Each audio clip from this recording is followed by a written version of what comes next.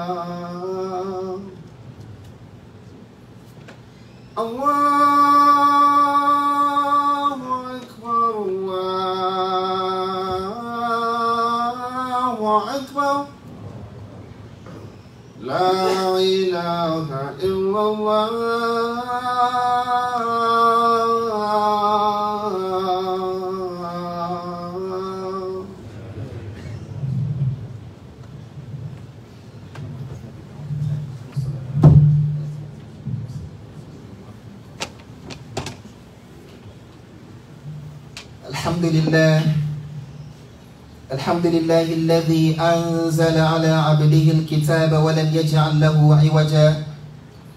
ثم الصلاة والسلام على المبعوث رحمة للعالمين سيدنا محمد وعلى آله وصحبه وسلم تسليما كثيرا. وبعد All praise and thanks are due to Allah the Almighty the one who sent down the book unto his slave Muhammad sallallahu alaihi wasallam and has not placed therein any crookedness.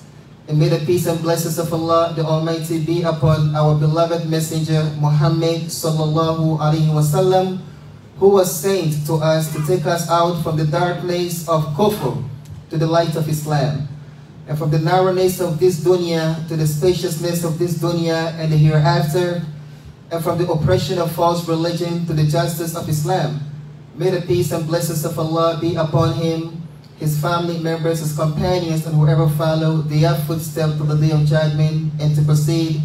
Dear brothers and sisters in Islam, Allah the Almighty has mentioned in Surah Al Imran saying, وَلِلَّهِ عَلَى النَّاسِ حِجُّ الْبَيْتِ مَنِ اسْتَطَاعَ إِلَيْهِ سَبِيلًا Is a performing Hajj performing pilgrimage to the sacred house of Allah the Almighty in Mecca is an obligation that mankind owe to Allah the Almighty. وَمَنْ كَفَرَ فَإِنَّ اللَّهَ غَنِيٌّ عَنِ الْعَالَمِينَ And whoever disbelieve or turn his back away from doing what Allah commanded us to do, then he should know that Allah the Almighty is Ghani, the rich, the independent. He is independent from all the creatures. He doesn't need us. We are those who are in need of Allah the Almighty. Everything that you have, it is Allah the Almighty who gave you. And everything that you don't have, it is Allah the Almighty who deprived you from that. So how can you be arrogant from Allah the Almighty when you are the one who is in need of Him? So we ask Allah the Almighty to make us amongst those who are humble. Ameen. This ayah right here is a proof that performing Hajj is mandatory upon every Muslim. And we will mention the conditions that one has to meet in order for Hajj to become mandatory upon him. But the proof for this in the hadith of the Prophet wasallam is what is narrated by the five scholars of hadith that the Prophet wasallam said, "Ayyuhan nas, inna Allah farada alaykum al-hajj fahujju." That he said, "O people, indeed, Allah the Almighty has obligated on you to perform Hajj. Therefore, hujju, perform Hajj. Go and visit the sacred house of Allah." When the Prophet wasallam said this, a man from among the group said, Afi kulli amin, Ya Rasulullah. Are we supposed to perform Hajj every year, O Messenger of Allah? The Prophet ﷺ disliked the question, so the Prophet remained silent. And then again he asked, Afi kulli amin, Ya Rasulullah. Are we obligated to perform Hajj every year? And the Prophet again remained silent. Because if the Prophet said perform Hajj, which indicated as long as you perform it, then you have fulfilled the obligation. And then the third time again, he said, Afi kulli amin ya Rasulullah. Should we perform Hajj every year? Then the Prophet became angry. And then the Prophet said to him, وَلَوْ قُلْتُ نَعَمْ لَوَجَبْ وَلَمَا اسْتَطَعْتُمْ If I was to say, yes, it will have become mandatory for you to perform Hajj every year, and you would not have been able to, to fulfill it. Then the Prophet said, do not ask unnecessary question like the previous nations asked unnecessary question. And due to the unnecessary question, Allah the Almighty made their life difficult on them. Like the people of Musa alayhi salatu wasalam. When Allah the Almighty commanded them to slaughter a cow, what did they say to Musa? Instead of them going and grab any cow and slaughter, they said to Musa, Udu lana rabbaka yubayyin lana mahi. Could you ask your Lord to tell us, I mean, what kind of cow exactly does he want us to slaughter? And Musa said, إنها بقرة لا فارض ولا بكر أوان بين ذلك فافعلوا إيه ما تؤمرون. So he said, the bakara, the cow that you should slaughter is the cow that is not too old and not too young, in between. Therefore, just go ahead and slaughter that. But instead of doing this, they asked again, "Udu lana rabbaka yubayyin lana ma lawnuha." Could you ask your Lord to tell us what color cow does he want us to slaughter? Subhanallah. So when they asked this question, Allah made it even more difficult. Allah the Almighty said, قُلْ إِنَّهَا بَقَرَةٌ صَفْرَاءُ فَاكِعٌ إِيه Mawnuha Tasurru and Nawduri, say to them to go and slaughter a yellow cow, a cow that is purely what? Yellow. Tasurru Nawdurin, looking at it pleases the eye. And of course, if I ask you, did any of you ever see a yellow cow in your life? The answer is what? Is no. But there was a yellow cow and they were able to find it, but before they find it, it was very difficult. So the prophet disliked from his companions to ask unnecessary questions. However, from this hadith, we learn that performing Hajj is mandatory on us, and it is only mandatory on us once in our in our in our lifetime, meaning one time in your lifetime. So may the Almighty make us amongst those who will be able to visit His sacred house in Mecca. Ameen. What are the conditions that one has to meet in order for Hajj to become mandatory upon him? The first is al-Islam. You have to be a, a Muslim. Because if you are not a Muslim, you did not say La ilaha illallah Muhammadun Rasulullah, which is the condition of your deed being accepted. Any act of worship you perform will not be accepted. So you have to be a Muslim first. And number two, sanity, al-aql. You have to be sane. You have to be understand what you are saying and you have to comprehend what you are intending. Because the Prophet sallallahu alaihi wasallam said, "Rufi al-kalamu an an thalath, النائم حتى يستيقظ والمجنون حتى يفيق والصبي حتى حتى يبلغ." That the pen is lifted off of three people. Number one, the one who is asleep you are not going to be held accountable even if you miss the prayer. Anything that happened to you while you are asleep, you'll be not what? You're not going to be held accountable on that until you wake up. You, you wake up. The second is al majnun, the one who is insane until he recovers his sanity, and the third is a child until he reaches puberty. So the first condition is Islam, the second is al-aql, sanity, and the third is puberty. If you are not pubescent and you perform Hajj, Hajj, your Hajj is valid and your parents will get the reward of the Hajj that you perform. But is it mandatory for you to perform Hajj? No. And if you reach puberty, you are still required to perform Hajj. As long as you did not perform it after reaching puberty. Even if you perform it before reaching puberty because you did not meet the condition of um, obligation. So we ask Allah the Almighty to grant us understanding of the deen. Ameen. So the third condition is pubescent, and the fourth is to be financially able and physically able. Because sometimes a person may be financially able but physically unable. Meaning you have the means to perform Hajj, but you don't have the health and the strength to perform Hajj. Hajj will not be mandatory upon you. And likewise, if you are physically able, you have the strength to perform Hajj, but you don't have the money, the wealth to perform Hajj, because Hajj is about 10, 10,000. I mean, the minimum you have to pay is about 7,000. So if you are blessed with this money and enough to leave behind for your family to cover the necessary things, then Hajj become mandatory upon you. But if you don't, then Allah is not going to hold you accountable for not being able to. But if you are financially able and physically able and you did not perform Hajj and you die upon that, this is when Allah the Almighty will hold you accountable. That's why Sa'id ibn Jubayr, he used to have a neighbor. And the neighbor has money, but he did not perform Hajj. So Sa'id said, if he died upon that, I will not pray his janazah. Not because he's not a Muslim, but sometimes, you know, the pious predecessors, they are very harsh and stern on people who know what they're supposed to do, but then they choose to do to do otherwise. So based on this, our scholars said, if Allah bless you with wealth and health, you should hasten to free yourself from this obligation, which is the obligation of Hajj that is upon you.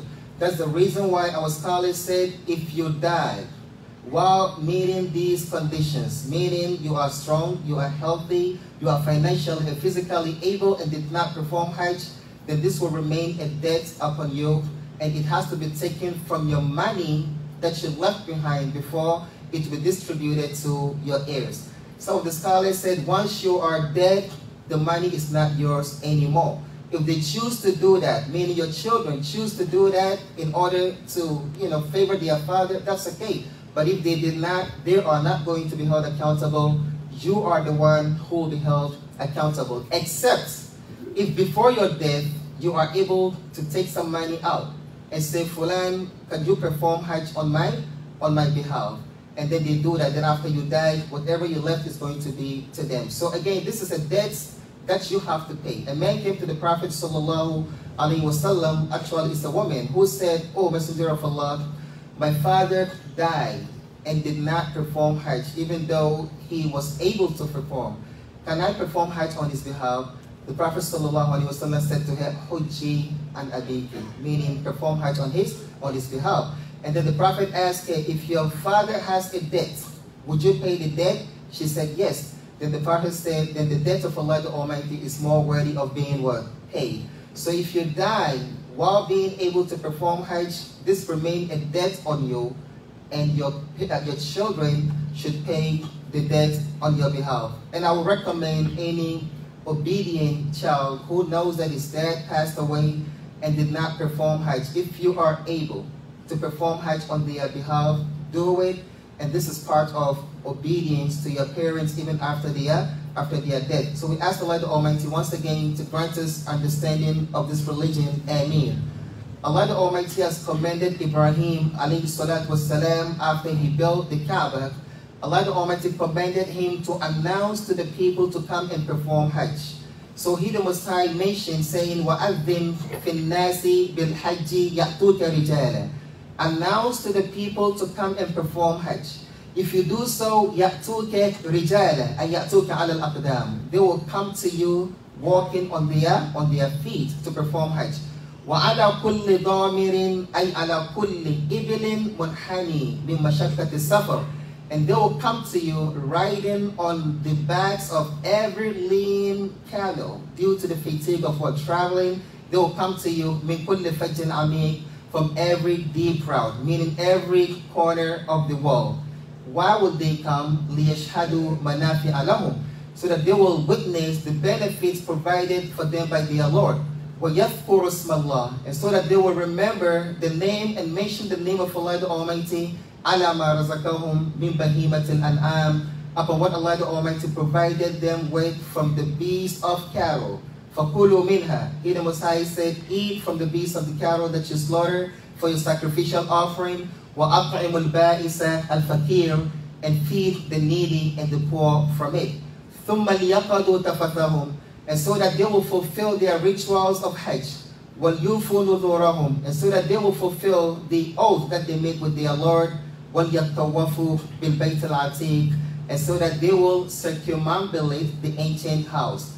And Kaaba is called Bayt al-Atiq, the ancient house لأوليته من البيوت الموضوعة على الأرض because it is the first house, as we mentioned in our previous khutbah, that was placed on the face of the earth.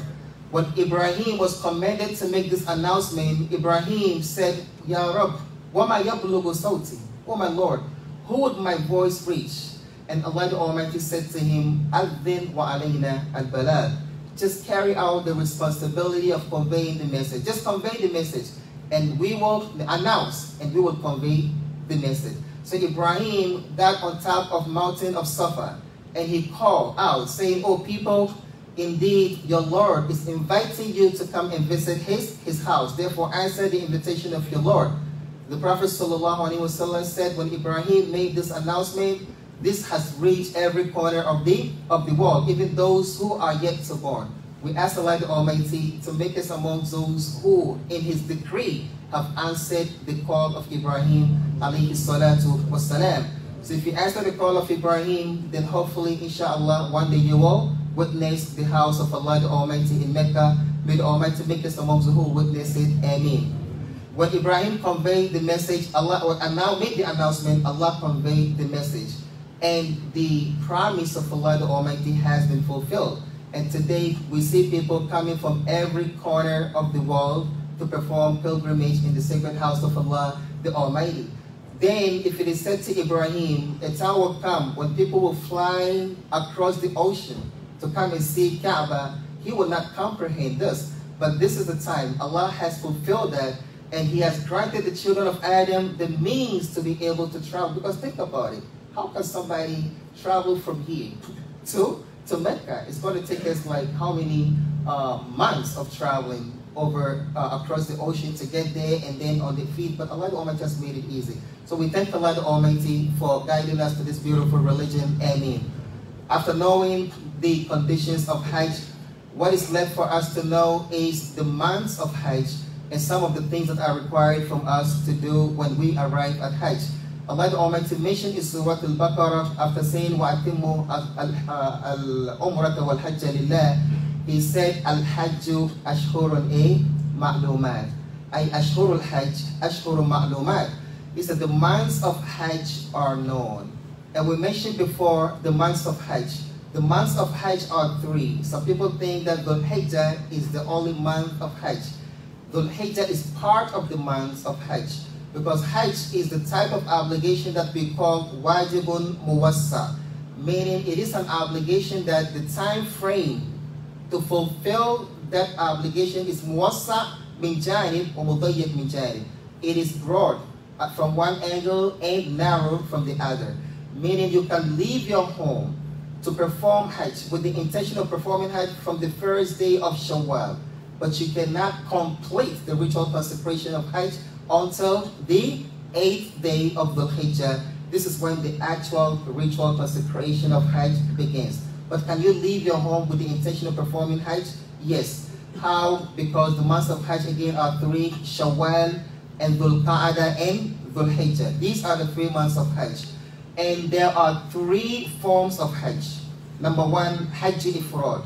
Number two, Hajj Qiran. Number three, Hajj uh, uh. Hajj Ifrad is when you leave your home with the intention of performing just, just Hajj without Umrah. That is Hajj Ifrad. Hajj Qiran is when you leave your home with the intention of performing Hajj and Umrah together and integrate the intention of Umrah and Hajj with one intention. Meaning, if you do the ihram of performing Umrah, you will not get out of your ihram until you complete your, your Hajj. This is what we call Hajj Kiran. And then we have the third, which is Hajj Tamattu'in. And this is when you leave your home with the intention of performing Umrah and Hajj, however, with separate intention. So when you leave and arrive at the uh, Miqat, you will make the intention of performing Umrah. And then Mutamatti biha ilal, ilal Hajj. So once you're done performing your Umrah, you can get out of your Ihram. When you get out of your Ihram, you are free to do what the normal people can do. Meaning you can clip your, your fingernails. You can put on, you know, perfume. You can wear regular clothes until the eighth day of Dhul Hijjah. Then you proceed to Mina with new intention to start the actual ritual of, of Hajj. And this is the type of Hajj that the Prophet recommended because it is the middle between the Hajj Ifrad, which is the one that is too, too easy, and the Hajj Kiran, which is too, too difficult. And the best things, of course, is the one in which moderation is, is adopted. Because if you do Hajj Kiran, meaning if you arrive at Mecca maybe 10 days before the 8th day of Dhul Hijjah, then you will not be able to get out of your ihram. And Umrah, it takes you about one to three hours to perform to perform Umrah. After that, if your Hajj is Kiran, you will still have to maintain your ihram. You cannot take out of get yourself out of your ihram. You cannot use perfume. You cannot, you know, do you know do the regular things that the uh, the regular person can do. So again, we ask Allah the Almighty to grant us understanding of this religion. Amen. So here the Most High said, فَمَنْ فَرَضَ فِيهِنَّ الْحَجِّ أي من ألزم نفسه أداء فريضة الحج في هذه الأشهر بالنية قصدا باطنا وبالتلبية قولا مسموعا وبالإحرام فعلا ظاهرا فلا رفث ولا فسوق ولا جدال في الحج Whoever obligated on himself to perform Hajj in these months by intending it with his heart and expressing it with his tongue by saying Allahumma labbaika hajja. If his hajj is hajj ifrad. Or Allahumma labbaika umratan wa hajja. Allah, I answer your uh, invitation to perform umrah and hajj. If the hajj is what? Kiran. Or Allahumma labbaika umratan mutamatti'an biha ilal ilal hajj. If his hajj is what hajju tamattu'in. Then you, if you intend to do that, and then you demonstrate it by wearing the, the ihram. Then he the Most High said, فَلَا رَفَث do not engage in flirtation. Do not flirt while you are in your ritual consecration of Hajj. And the reason being is because when you arrive at the haram, intermingling is something that cannot be avoided. So Allah the Almighty is advising us not to engage in flirtation with our tongue or our action. Wala fusuqa. And do not engage in fisk. And the word fisk is al-khuruj an It's to rebel from being obedient. Our noble scholar Imam al-Qurtubi said the word fisk here means to insult and to curse. Like the Prophet ﷺ said, Sibabul Muslimi fusuq. Insulting and cursing the Muslim is a fusuq. And Allah said this because you can easily get into fight with somebody while you are at Hajj because the you know the crowd cannot be controlled. Somebody may, you know, step on you The taxi driver may overcharge you. It's just a lot of things that happen there that you can easily curse and get irritated. So Allah the Almighty is saying, do not engage in flirtation, do not insult or curse, وَلَا جِدَالَ فِي الْحَجِّ and do not argue while you are in the rituals of, of Hajj. And then he the Messiah said, وَمَا تَفْعَلُوا مِنْ خَيْرٍ يَعْلَمُهُ اللَّهُ فالله يحثنا على اختيار حسن الكلام على الفسق واختيار حسن الأخلاق على السب والشتم واللعن So Allah the Almighty is saying whatever you do of good, He Allah the Almighty is aware of it. And in this verse, He the Most High is urging us to choose kind words when talking to people instead of cursing and insulting them and to choose good character when dealing with the people instead of arguing with them and cursing with them. We ask Allah the Almighty to adorn us with good qualities. Ameen. then he, the Most High, said, wadu And when you travel, make sure that you carry your provisions of Hajj.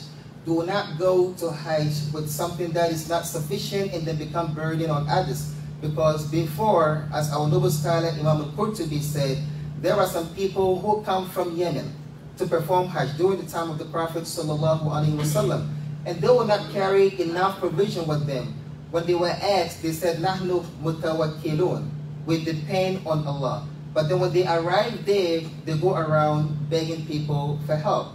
And this is not something that is praiseworthy. So here the Most High said, وَتَزَوَّدُوا Carry your provision with you when you perform Hajj.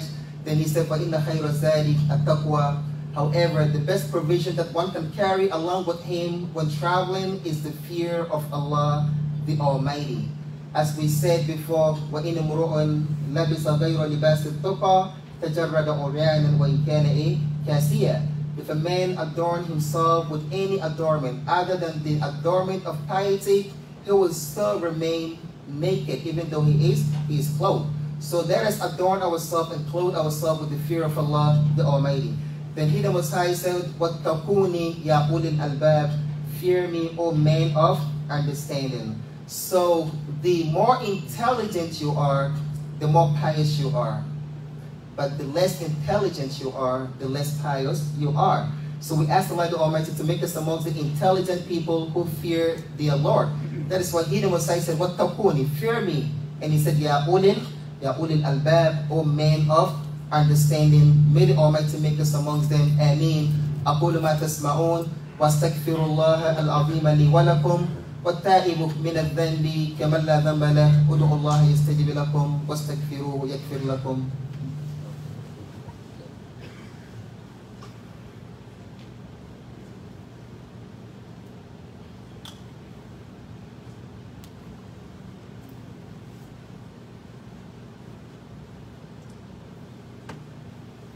لله وكفى ثم الصلاة والسلام على عباد الذين اصطفى وبعد Here Musaid then said ليس عليكم جناح أن تبتغوا فضلا من ربكم There is no blame on you if you travel to Hajj to seek from the bounty of your Lord.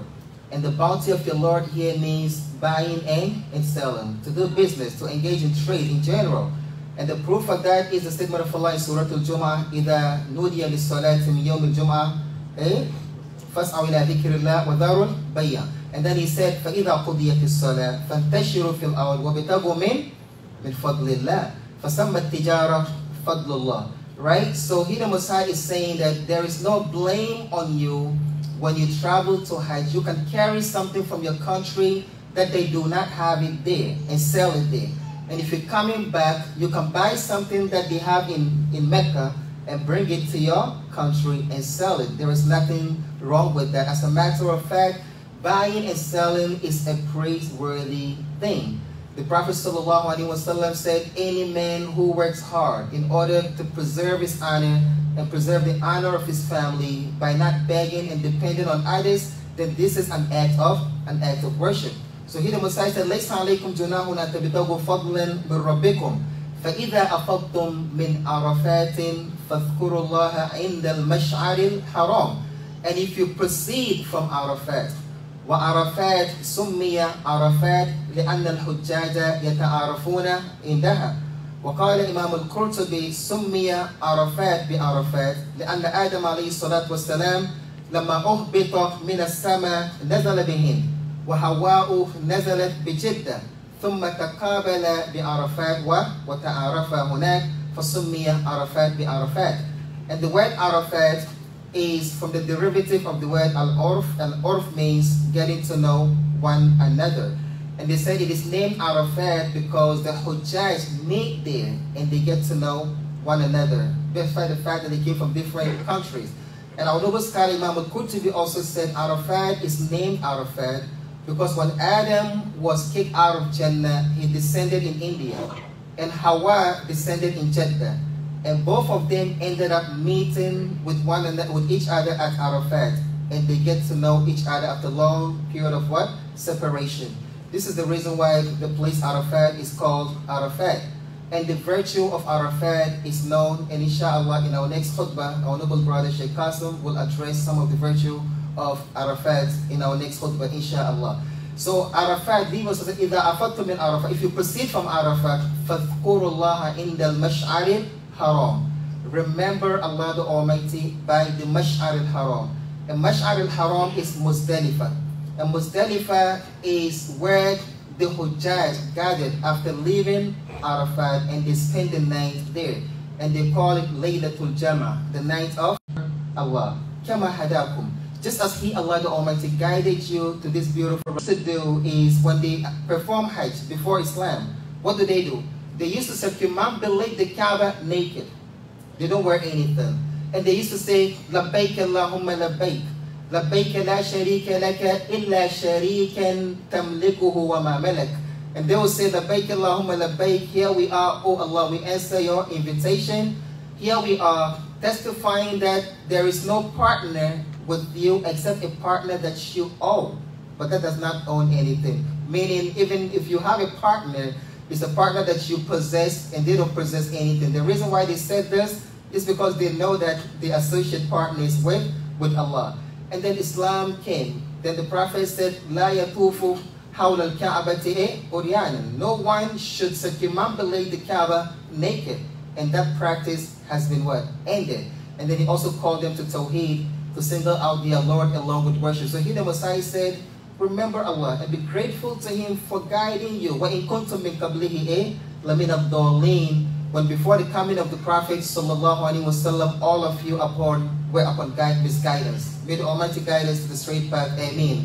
And then he the Most High also said, ثُمَّ أَفِيدُ مِنْ حَيْثُ أَفَاضَ النَّاسِ وَاسْتَغْفِرُوا اللَّهَ إِنَّ اللَّهَ غَفُورٌ رَحِيمٌ فإذا قضيتم مناسككم فاذكروا الله كذكركم آباءكم أو أشد ذكرا and then proceed to where the people proceed to and that is to Jamarat to go and stone the, the devil then Allah said if you finish your ritual of Hajj then remember Allah like the way you remember your forefathers or even more than more than that and if you think about it, all the rituals of Hajj, you will hear here Messiah saying, remember Allah, which indicate the importance of remembering Allah. So Hajj and the act of worship in general is established for the purpose of remembering who?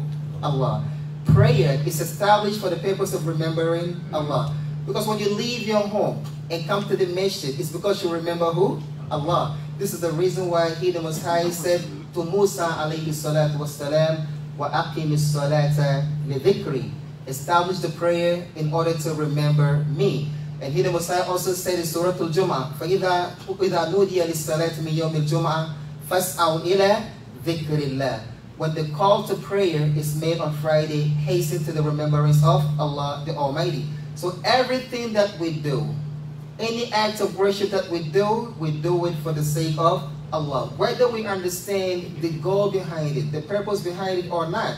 So he, Allah the Almighty said to the slave, leave your home and come and visit my home. The slave said, Labbaika Allahumma eh, labbaik. He said, take off your comfortable garment and put on the ihram on you, which is very uncomfortable. The slave said, I heard and I obeyed. Allah said, do not put on perfume or clip your nails or shave your head. The slave said, I heard and I, I obeyed. Allah said, circumambulate the Kaaba seven times. I heard and I obeyed. Kiss the black stone. I heard and I obeyed. Pace between Safa and Marwa. I heard and I obeyed. Shave your head. I heard and I obeyed. Stone the devil. I heard and I, I obeyed. Slaughter. I heard and I obeyed. Do you understand everything that you do? No. But this indicate absolute submission to Allah the Almighty. That is why we, the Muslims, when we are commanded to do anything, we don't ask why. All that you have to do what? We heard and we we obey. إنما كان قول المؤمنين إذا دعوا إلى الله ورسوله ليحكم بينهم أن يقولوا إيه سمعنا وأطعنا. You don't have to know the wisdom behind anything. Now we come across people rejecting the verses of the Quran because they believe that it doesn't make sense to them. If you couldn't comprehend anything from the Quran, you have to accuse your intellect with deficiency. But do not accuse the book of Allah the Almighty with deficiency because we have limitation. There are things in this world that we cannot understand. When the Prophet ﷺ talked about on the day of judgment that the sun will brought closer to our heads within the distance of mile, some people like, how is this possible? But if Allah the Almighty said it will happen, it will happen. How is it going to be? It's beyond our imagination. All that we have to do is we heard and we we obey. Allah the Almighty, if you die, the Prophet said there is a punishment of the grave. Some Muslims say, okay, we bury him, we open, we see him like that. We don't see any punishment. So we don't believe that there's a punishment of grave. Why? Because they don't comprehend. But if you're going to use your like your, your, your, your intellect that is deficient to try to judge the book of Allah the Almighty, then you will go go astray. So again, we ask Allah the Almighty to guide us to the straight path. Ameen. Allahumma zidna wa la tanqusna wa akrimna wa la tuhinna wa athirna wa la tu'thir alayna. Allahumma ij'alna laka. لك ذكارين لك مطاوعين وإليك أوابين منيبين. اللهم اغفر لآبائنا وأمهاتنا. اللهم اغفر لآبائنا وأمهاتنا. اللهم اهد أولادنا. اللهم اهد أولادنا. اللهم اهد أولادنا. اللهم احفظهم من فتنة هذا الزمان. اللهم احفظهم من فتنة هذا الزمان. اللهم أنقذهم من فتنة هذا الزمان. برحمتك يا أرحم الراحمين. ويا رب العالمين وصل اللهم على سيدنا محمد وعلى آله وصحبه وسلم تسليما كثيرا.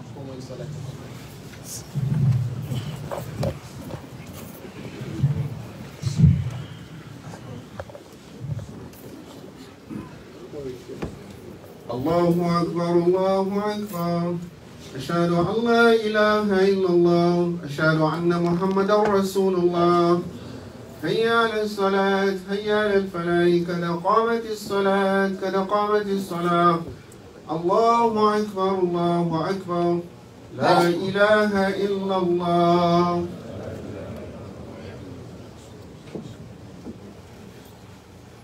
استووا مستقيم واعتدلوا تواصلوا بالصبر يرحمكم الله. الله أكبر.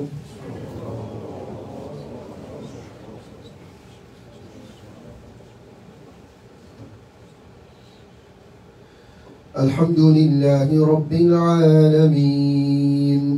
الرحمن الرحيم. مالك يوم الدين.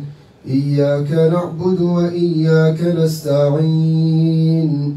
اهدنا الصراط المستقيم. صراط الذين أنعمت عليهم غير المغضوب عليهم ولا الضالين. آمين.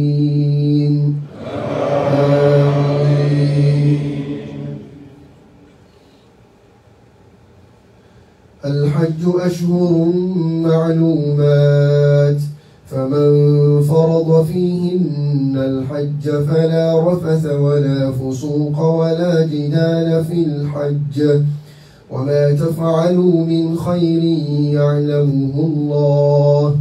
وتزودوا فإن خير الزاد التقوى.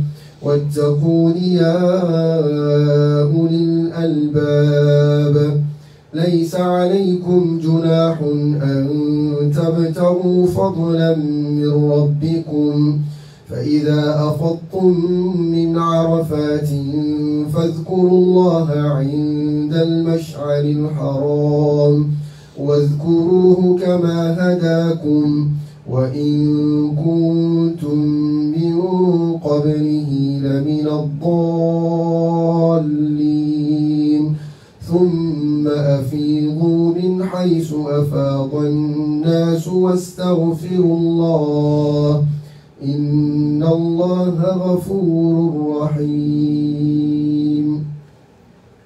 الله أكبر.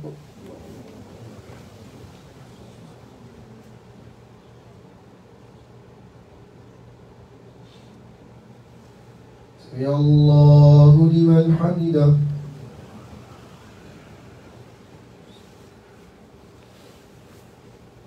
الله أكبر.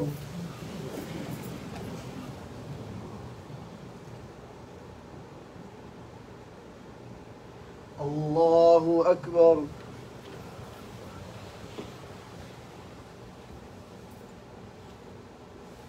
الله أكبر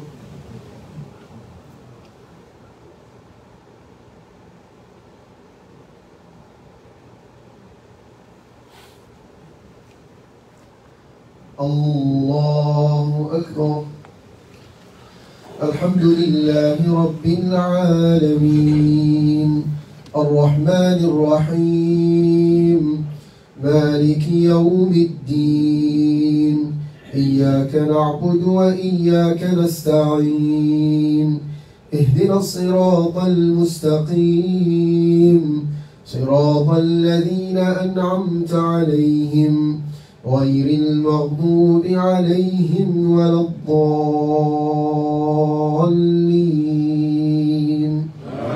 آمين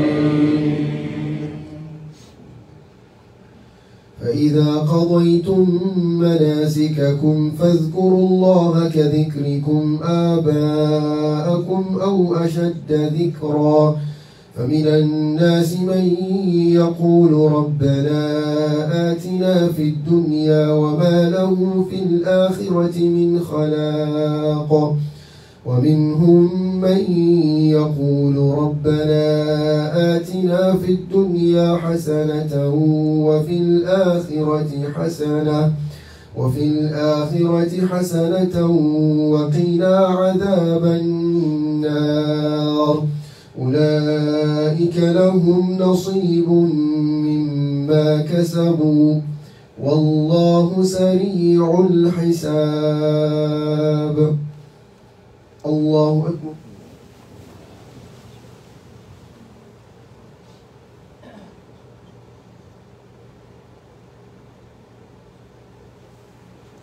سمع الله لمن حمده.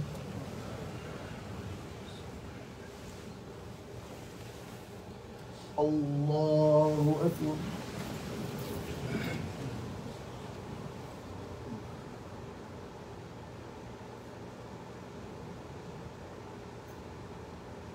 الله أكبر.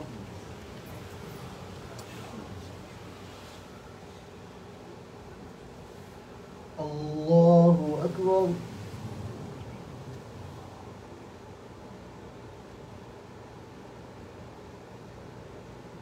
الله أكبر.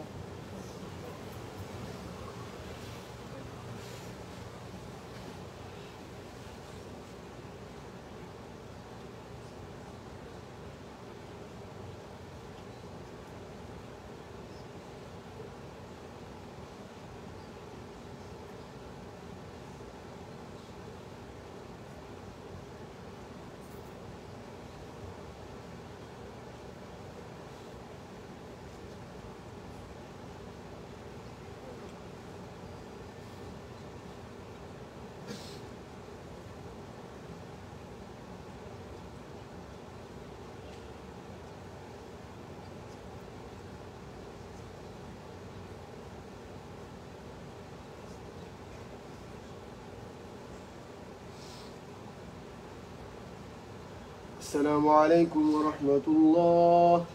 السلام عليكم ورحمة الله.